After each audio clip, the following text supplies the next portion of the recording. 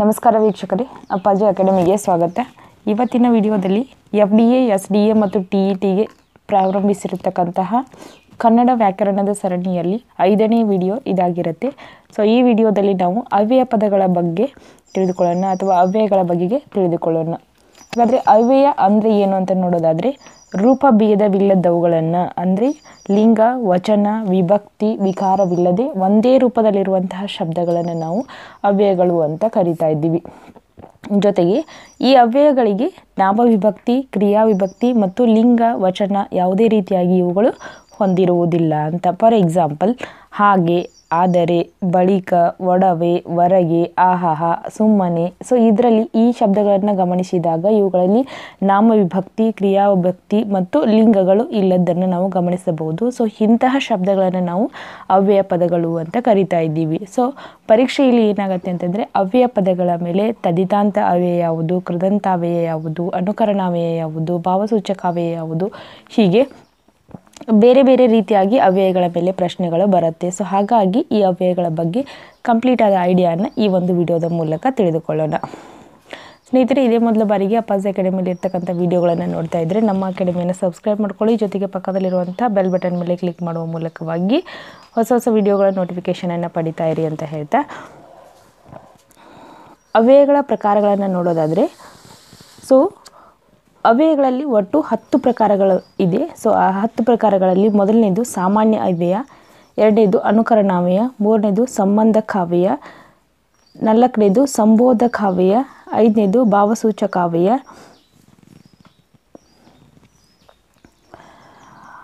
ಆರನೇದು ಕ್ರಿಯಾವಾಚಕಾವ್ಯಯ, ಏಳನೇದು ಅವತರಣಾರ್ಥಕಾವ್ಯಯ ಆಮೇಲೆ ಎಂಟನೇದು ಪ್ರಶ್ನಾರ್ಥಕಾವ್ಯಯ ಮತ್ತು ಒಂಬತ್ತು ಕೃದಂತಕಾವ್ಯಯ ಮತ್ತು ತದ್ದಿತಾಂತಾವ್ಯ ಅಂತ. ಸೊ ಈ ಹತ್ತು ಅವ್ಯಯಗಳ ಮೇಲೆ ಪ್ರಶ್ನೆಗಳು ಬರುತ್ತೆ. ಹಾಗಾದರೆ ಒಂದೊಂದನ್ನು ಯಾವ ರೀತಿಯಾಗಿರುತ್ತೆ, ಅದರ ಎಕ್ಸಾಂಪಲ್ಗಳೇನು ಅನ್ನೋದನ್ನು ನೋಡೋಣ. ಫಸ್ಟ್ ಒನ್ ಸಾಮಾನ್ಯ ಅವ್ಯಯ. ಸೊ ಸಾಮಾನ್ಯ ಅವ್ಯಯ ಅಂತಂದರೆ ಒಂದು ಕ್ರಿಯೆಯು ನಡೆದ ರೀತಿಯನ್ನು ಹೇಳುವಂತಹ ಅವ್ಯಯಗಳನ್ನು ನಾವು ಸಾಮಾನ್ಯ ಅವ್ಯಯಗಳು ಅಂತ ಕರಿತಾ ಇದ್ದೀವಿ. ಸೊ ಕ್ರಿಯೆ ನಡೆದ ರೀತಿ, ಅದರ ಸ್ಥಳ, ಅದರ ಕಾಲ ಮತ್ತು ಅದು ಯಾವ ರೀತಿಯಾದಂತಹ ಘಟನೆ. ಈ ಮೂರು ವಿಚಾರಗಳನ್ನು ಸಾಮಾನ್ಯ ಅವ್ಯಯದ ಶಬ್ದಗಳು ನಮಗೆ ತಿಳಿಸಿಕೊಡುತ್ತೆ. ಫಾರ್ ಎಕ್ಸಾಂಪಲ್ ಸ್ಥಳ ಅಂತಂದರೆ ಅಲ್ಲಿ, ಇಲ್ಲಿ ಎಲ್ಲಿ ಮೇಲು, ಕೆಳಗೆ. ಸೊ ಎಲ್ಲಿ ಕೆಲಸ ನಡೀತು, ಯಾವ ಕೆಲಸ ಎಲ್ಲಿ ನಡೆದಿದೆ ಅನ್ನೋದ್ರ ಬಗ್ಗೆ ನಮಗೆ ಇದು ವಿವರಣೆಯನ್ನು ಕೊಡುತ್ತೆ. ಅದೇ ರೀತಿಯಾಗಿ ಕಾಲದ ಬಗ್ಗೆ ಯಾವಾಗ ನಡೆಯಿತು ಆ ಕೆಲಸ ಅನ್ನೋದ್ರ ಬಗ್ಗೆ ಮಾಹಿತಿಯನ್ನು ಕೊಡುತ್ತೆ. ಆಗ ಯಾವಾಗ ನಡೆಯಿತು ಕೆಲಸ, ಆಗ ನಡೆಯಿತು ಈಗ ನಡೆಯಿತು ನಿನ್ನೆ ನಡೆಯಿತು ಇಂದು ನಡೆಯಿತು ಅಂದು ನಡೆಯಿತು ಎಂದು ನಡೆಯಿತು ಸೊ ಹೀಗೆ ಕಾಲ, ಒಂದು ಕೆಲಸ ನಡೆದಂತಹ ಅದರ ಕಾಲವನ್ನು ನಿಗದಿ ಮಾಡುವಂಥ ಶಬ್ದಗಳನ್ನು ನಾವು ಸಾಮಾನ್ಯ ಅವ್ಯಯಗಳು ಅಂತ ಕರಿತಾ ಇದ್ದೀವಿ. ಅದೇ ರೀತಿಯಾಗಿ ರೀತಿ. ಯಾವ ರೀತಿಯ ಕ್ರಿಯೆ ಅದು ಅಂತ. ಸೊ ಚೆನ್ನಾಗಿ ನಡೆದಿದೆ ಆ ಕೆಲಸ, ಮೆಲ್ಲನೆ ನಡೆದಿದೆ ಆ ಕೆಲಸ, ಹಾಗೆ ನಡೆದಿದೆ ಕೆಲಸ, ಹೀಗೆ ನಡೆದಿದೆ, ಹೇಗೆ ನಡೆದಿದೆ, ನುಣ್ಣಗೆ, ತಣ್ಣಗೆ, ತೆಳ್ಳಗೆ, ಅಂತು, ಇಂತು, ಎಂತು, ಅಂತೆ, ಸುಮ್ಮನೆ, ನೆಟ್ಟಗೆ, ಮೆಲ್ಲಗೆ, ಹೀಗೆ ಯಾವ ರೀತಿಯಾದಂತಹ ಶಬ್ದಗಳು ಅಥವಾ ಕೆಲಸ ಯಾವ ರೀತಿಯಾಗಿ ನಡೆದಿದೆ, ಆ ಕೆಲಸದ ವಿಶೇಷಣವನ್ನು ಹೇಳೋದ್ರಿಂದ ಇವುಗಳನ್ನು ಕ್ರಿಯೆ ಕ್ರಿಯಾ ವಿಶೇಷ ನಾಮೀಯಗಳು ಅಂತಲೂ ಕೂಡ ಇವುಗಳನ್ನು ಕರೀತಾ ಇದ್ದಾರೆ. ಕಾರಣ ಕ್ರಿಯೆ ಯಾವ ರೀತಿಯಾಗಿ ನಡೆದಿದೆ ಅನ್ನೋದನ್ನು ಈ ಅವ್ಯಯಗಳು ನಮಗೆ ತಿಳಿಸಿಕೊಡುತ್ತೆ. ಸೊ ಫಸ್ಟ್ ಒನ್ ಸಾಮಾನ್ಯ ಅವ್ಯಯ ಅಂತಂದರೆ ಕೆಲಸ ನಡೆದಂತಹ ಸ್ಥಳ, ಕಾಲ ಮತ್ತು ರೀತಿಯನ್ನು ಇವು ತಿಳಿಸತ್ತೆ ಅಂತ. ಸೊ ಎರಡನೇದು ಅನುಕರಣಾವ್ಯಯ ಅಂತ. ಸೊ ಅರ್ಥವಿಲ್ಲದ ಧ್ವನಿ ವಿಶೇಷಣಗಳನ್ನು ಕೇಳಿದಂತೆಯೇ ಪುನಃ ಉಚ್ಚಾರಣೆ ಮಾಡಿ, ಅನುಕರಣೆ ಮಾಡಿ ಹೇಳುವಂತಹ ಶಬ್ದಗಳನ್ನು ನಾವು ಅನುಕರಣಾವ್ಯಗಳು ಅಂತ ಕರಿತೀವಿ. ಸೊ ಇಲ್ಲಿ ಬಳಸುವಂಥ ಪದಗಳಿಗೆ ಅಥವಾ ಇಲ್ಲಿ ಬಳಸುವಂತಹ ವಿಶೇಷಣಗಳಿಗೆ ಯಾವುದೇ ರೀತಿಯಾದಂಥ ಅರ್ಥಗಳು ಇರುವುದಿಲ್ಲ. ಆದ್ರೂ ಕೂಡ ನಾವು ಅವುಗಳನ್ನು ಪುನಃ ಪುನಃ ಉಚ್ಚಾರಣೆ ಮಾಡಿ ಹೇಳ್ತೀವಿ. ಬಿಕಾಸ್ ಆ ಒಂದು ಸೆಂಟೆನ್ಸ್ಗೆ ಅರ್ಥ ಬರಬೇಕು ಅಥವಾ ಆ ಒಂದು ಸೆಂಟೆನ್ಸ್ನಲ್ಲಿ ಒಂದು ವಿಶೇಷತೆ ಇರಬೇಕು ಅನ್ನೋ ಕಾರಣಕ್ಕಾಗಿ ನಾವು ಸಡನ್ನಾಗಿ ಅಂತಹ ಶಬ್ದಗಳನ್ನು ಬಳಸ್ತಾ ಇರ್ತೀವಿ. ಅವುಗಳನ್ನು ಪುನಃ ಪುನಃ ಉಚ್ಚಾರಣೆ ಮಾಡುವಂಥ ಶಬ್ದಗಳಾಗಿ ಬಳಸ್ತಾ ಇರ್ತೀವಿ. ಸೊ ಅಂಥವುಗಳನ್ನು ಅನುಕರಣಾವ್ಯಯಗಳು ಅಂತ ಕರಿತೀವಿ.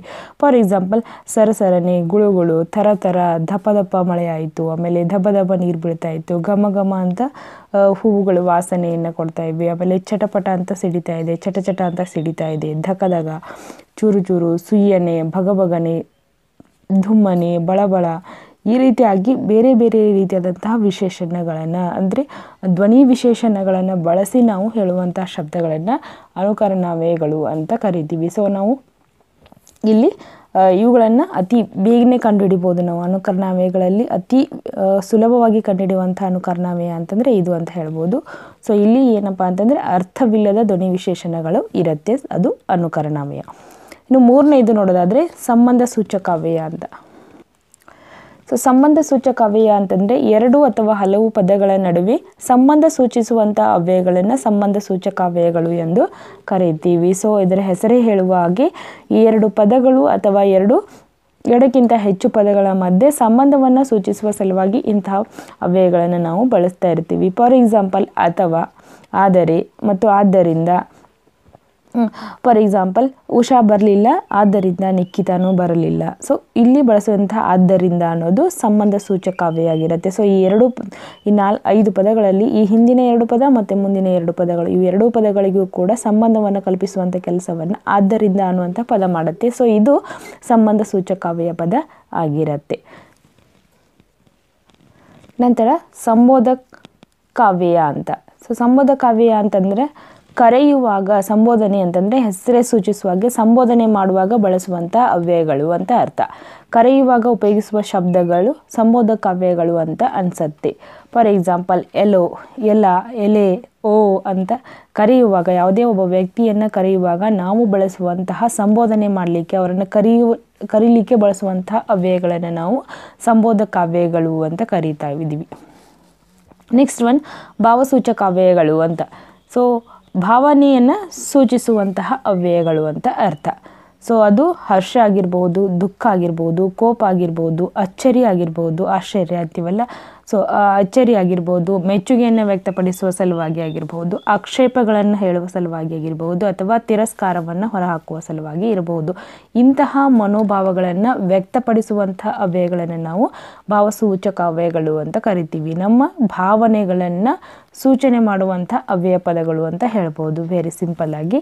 ಸೊ ಹರ್ಷ, ದುಃಖ, ಕೋಪ, ಅಚ್ಚರಿ, ಮೆಚ್ಚುಗೆ, ಆಕ್ಷೇಪ, ತಿರಸ್ಕಾರ ಇವೆಲ್ಲವ ಎಲ್ಲ ಭಾವನೆಗಳನ್ನು ಈ ಸು ಈ ಭಾವಸೂಚಕ ಅವ್ಯಯಗಳು ತಿಳಿಸುತ್ತೆ ಫಾರ್ ಎಕ್ಸಾಂಪಲ್ ಅಯ್ಯೋ ಅನ್ನೋದಾಗಿರ್ಬೋದು. ಆಹಾ, ಬಲೆ, ಬಲ, ಛೇ, ಥೂ, ಅಭ, ಆಹಾ, ಓಹೋ, ಹೀಗೆ ಬೇರೆ ಬೇರೆ ರೀತಿಯಾದಂತಹ ಭಾವಸೂಚಕ ಅವ್ಯಯಗಳನ್ನು ನಾವು ಬಳಸ್ತಾ ಇರ್ತೀವಿ. ನಂತರ ಆರನೇದು ಕ್ರಿಯಾಸೂಚಕ ಅವ್ಯಯ ಅಂತ.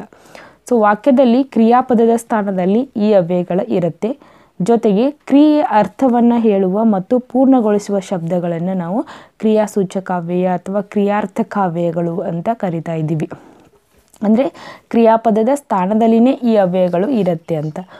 ಫಾರ್ ಎಕ್ಸಾಂಪಲ್ ಉಂಟು, ಬೇಕು, ಸಾಕು, ಬೇಡ, ಅಲ್ಲಿ, ಇಲ್ಲಿ, ಹೌದು ಹೌದು. ಅಂದರೆ ಆ ಕೆಲಸ ಮಾಡಬಾರದು. ಆ ಕೆಲಸ ಮಾಡಿದ್ದುಂಟು. ಆ ಕೆಲಸ ಸಾಕು ಆ ಎಲ್ಲಿ ಆ ಕೆಲಸವನ್ನು ಮಾಡ್ತಾ ಇದ್ದೀವಿ. ಹೀಗೆ ಕ್ರಿಯೆಯನ್ನು ಸೂಚಿಸುತ್ತೆ. ಕ್ರಿಯಾಪದದ ಸ್ಥಾನದಲ್ಲಿನೇ ಈ ಪದ, ಈ ಒಂದು ಅವ್ಯಯಗಳು ಬಳಕೆ ಆಗತ್ತೆ. ನಂತರ ಅವತರಣಾರ್ಥಕಾವ್ಯ ಅಂತ.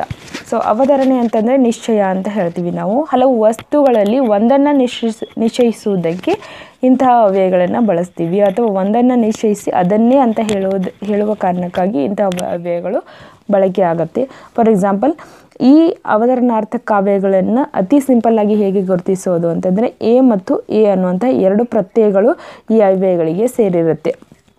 ಫಾರ್ ಎಕ್ಸಾಂಪಲ್ ಅದೇ ನನ್ನ ಪುಸ್ತಕ, ಇಲ್ಲಿ ಗಮನಿಸಬಹುದು, ಅದೇ ನನ್ನ ಪುಸ್ತಕ ಅನ್ನೋದರಲ್ಲಿ ಎ ಇರುವುದು. ಆಮೇಲೆ ನಾನೇ ಅದನ್ನು ತಿಂದೇನು, ರಾಮನೇ ಅದನ್ನು ಹೇಳಿದನು, ನೀನೇ ಬಂದೆ.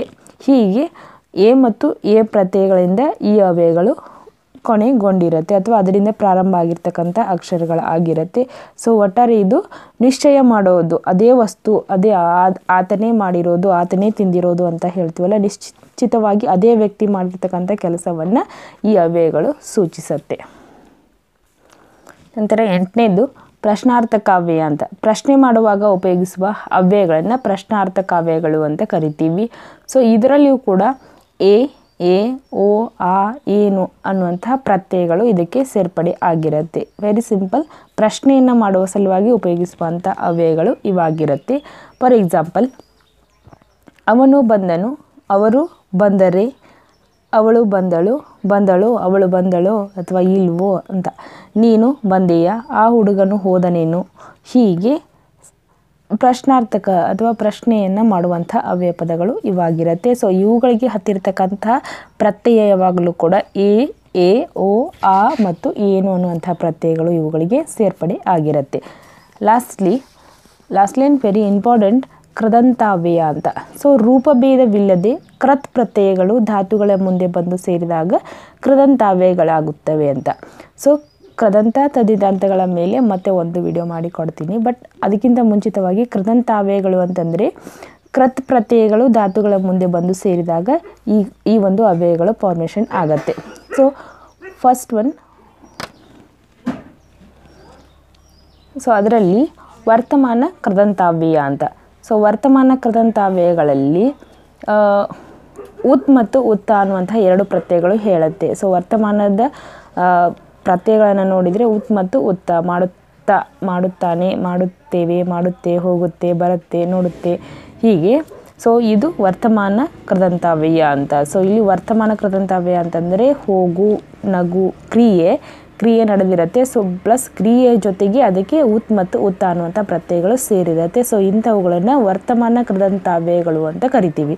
ನೆಕ್ಸ್ಟ್ ಭೂತ ಕೃದಂತಾವ್ಯಯಗಳು ಅಂತಂದರೆ ಇಲ್ಲಿ ದು ಮತ್ತು ಇ ಅನ್ನುವಂಥ ಎರಡು ಪ್ರತ್ಯಯಗಳು ಸೇರ್ಪಡೆ ಆಗಿರುತ್ತೆ. ಸೇರಿದಾಗ ಭೂತ ಕೃದಂತಾವ್ಯಯಗಳು ಆಗುತ್ತೆ. ಸೊ ಭೂತಕಾಲವನ್ನು ಸೂಚಿಸುವಂತಹ ಕ್ರಿಯಾಪದಗಳಾಗಿರುತ್ತೆ. ಓಕೆ ಅದರ ಜೊತೆಗೆ ದು ಮತ್ತು ಇ ಅನ್ನುವಂಥ ಪ್ರತ್ಯಯಗಳು ಇದಕ್ಕೆ ಸೇರ್ಪಡೆ ಆಗಿರುತ್ತೆ. ಫಾರ್ ಎಕ್ಸಾಂಪಲ್ ಬರೆದು. ಸೊ ಕ್ರಿಯೆ ಮುಗಿದಿದೆ. ಬೆಂದು, ಬಾಳಿ, ಮಲಗಿ, ತಿಳಿದು, ಕೊರಗಿ. ಸೊ ಇವುಗಳಲ್ಲಿ ದು ಮತ್ತು ಇ ಅಂತ ಕೆಲಸ ಸಂಪೂರ್ಣವಾಗಿ ಮುಗಿದಿದ್ದನ್ನು ಇದು ತೋರಿಸಿಕೊಡುತ್ತೆ. ಇನ್ನು ನಿಷೇಧಾರ್, ನಿಷೇಧಾರ್ಥಕ ಕೃದಂತಾವ್ಯಯ ಅಂತ. ಫಾರ್ ಎಕ್ಸಾಂಪಲ್ ನೋಡದೆ ಸೇರದೆ ನಗದೆ, ಹೋಗದೆ, ಬರದೆ, ತಿಳಿಯದೆ ಅಂತ. ಸೊ ಇಲ್ಲಿ ಆ ಒಂದು ಕೆಲಸ ನಡೆದಿಲ್ಲ ಅನ್ನುವಂಥ ಅರ್ಥವನ್ನು ಇವುಗಳು ಕೊಡತ್ತೆ. ನೋಡಿಲ್ಲ ನಾನು, ಸೇರಿಲ್ಲ, ನಗದೆ, ಹೋಗದೆ, ಬಾರದೆ, ತಿಳಿಯದೆ ಅಂತ ಇಂಥ ಪದಗಳನ್ನು ನಾವು ನಿಷೇಧಾರ್ಥಕ ಕೃತಂತಾವ್ಯಗಳು ಅಂತ ಕರಿತೀವಿ. ಲಾಸ್ಟ್ ಒನ್ ತದ್ದಿತಾಂತಾವ್ಯಯ ಅಂತ.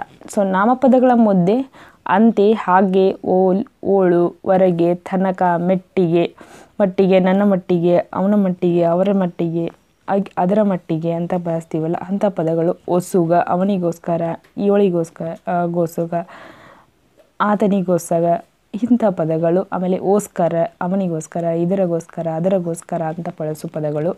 ಇಂಥ ಸಲುವಾಗಿ ಮುಂತಾದ ತದ್ದಿತ ಪ್ರತ್ಯಯಗಳು ಸೇರಿ ಇಂತಹ ಅವ್ಯಯಗಳು ಆಗತ್ತೆ. ಸೊ ತದ್ದಿತ ತಾವ್ಯಗಳನ್ನು ಗುರುತಿಸಬೇಕಾಯಿತು ಅಂತಂದರೆ ಈ ಅಂತ್ಯಗಳು ಇರುತ್ತೆ ಅದರ ಮುಂದೆ. ಅಂತೆ, ಹಾಗೆ, ಓಲ್, ಓಳು ತನಕ, ಮೆಟ್ಟಿಗೆ, ಓಸುಗ, ಓಸ್ಕರ ಇಂತಹ ಸಲುವಾಗಿ ಹೀಗೆ ಬೇರೆ ಬೇರೆ ಪದಗಳು ಸೇರುವ ಮೂಲಕವಾಗಿ ಪದಗಳು ರ, ರಚನೆ ಆಗಿರುತ್ತೆ. ಸೊ ಅಂಥ ಅವ್ಯಗಳನ್ನು ನಾವು ತದ್ದಿತಾಂತ ಅವ್ಯಗಳು ಅಂತ ಕರಿತಾ ಇದ್ದೀವಿ. ಸ್ನೇಹಿತರೆ, ಈ ವಿಡಿಯೋ ನಿಮಗೆ ಇಷ್ಟ ಆಗಿದೆ ಅಂತ ಭಾವಿಸ್ತಾ thank you thanks for watching